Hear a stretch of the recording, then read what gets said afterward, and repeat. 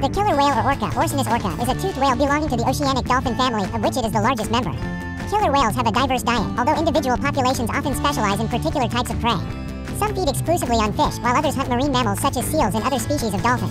They have been known to attack baleen whale calves, and even adult whales. Killer whales are apex predators, as no animal preys on them. A cosmopolitan species, they can be found in each of the world's oceans in a variety of marine environments, from Arctic and Antarctic regions to tropical seas, absent only from the Baltic and Black Seas, and some areas of the Arctic Ocean. Killer whales are highly social. Some populations are composed of matrilineal family groups, pods, which are the most stable of any animal species.